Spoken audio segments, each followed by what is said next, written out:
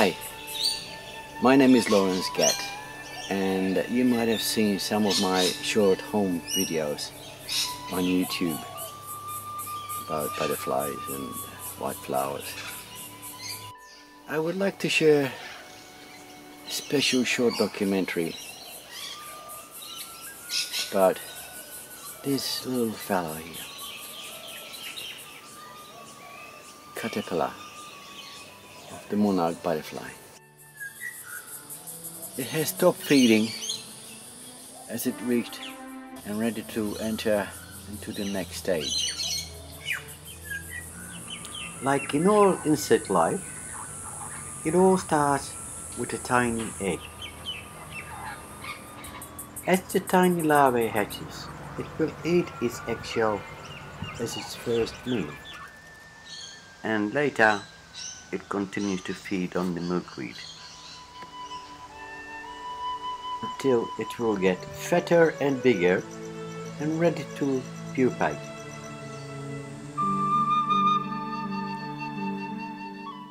The butterfly larva is now entering the mysterious and most fascinating in the insect world, the metamorphosis stage.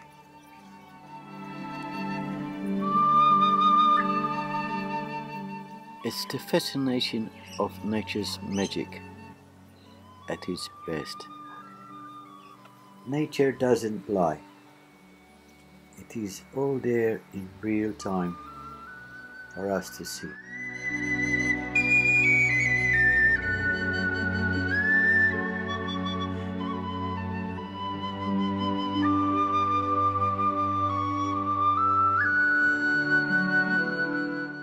Monarch suddenly lost its grip. It must hang on so the wings will stretch and dry before it can fly.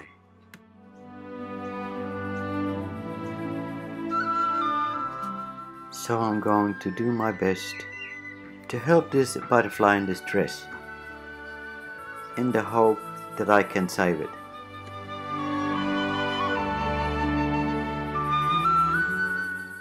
The monarch seems to be recovering from that fall and the wings seems to be normally extending as fluid being pumped to the wings.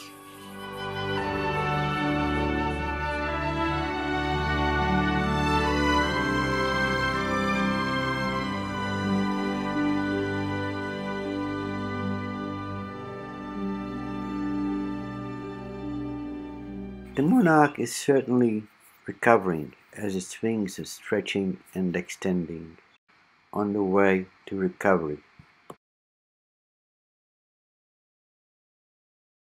And that same excellent prone monarch did farewell from that fall and is seen sipping nectar from the buddleia flower.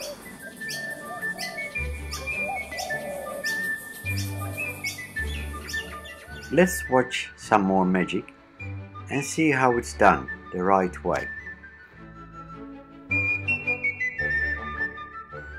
Watch the sharp hooks on the front legs for gripping.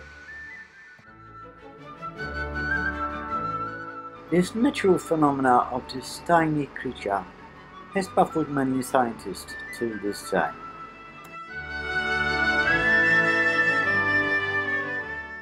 I have raised and protected these newly hatched monarch butterflies since they were a tiny egg.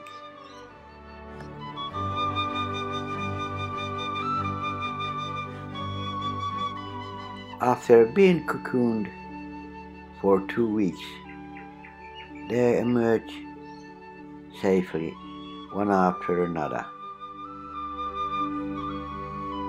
Soon after their wings are hardened, they are released in the larger cage where they have more room to fly freely.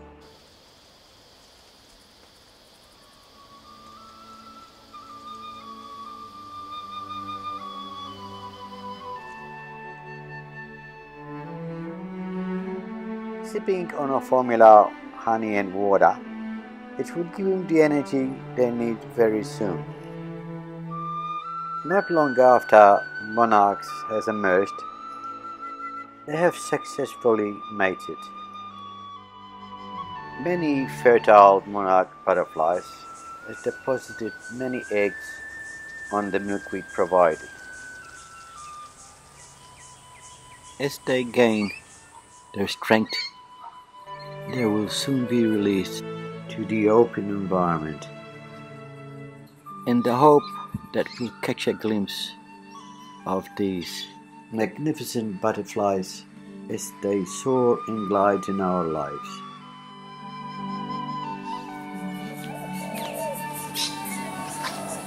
Well, I just released a few monarchs.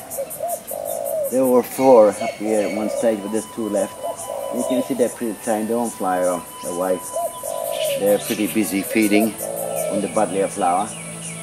So soon enough they will fly away and uh, sometimes they fly around in the garden for a while.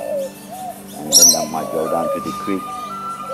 And perhaps they come back, hopefully they come back and lay some eggs after they mate on uh, the milkweed bushes that I have planted for them. So I'm ready to release a few more. And yes, it'll be good.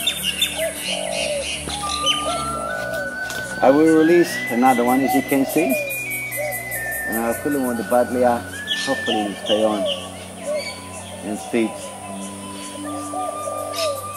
like the rest of them. See, there's two more up there, and there's two more here, there's some in the back there. Uh, they look pretty happy. They look pretty content flying and out in the open and feeding, and soon they'll be gone. Move to other gardens And as I said, hopefully they will be back and uh, some eggs. And uh, whatever, I wish them luck. It's New Year's Eve today, and I wish them luck. I wish them a happy New Year. A new year full of prosperity for them. They can survive and flourish. Some monarchs will hang around for a while until it's time to leave. and some of them may return again to visit their home.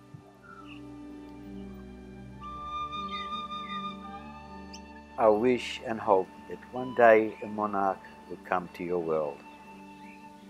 And if you plant some milkweed in your garden, they will come around and spend some time with you. I hope you have enjoyed my short story. And until our next project, Goodbye.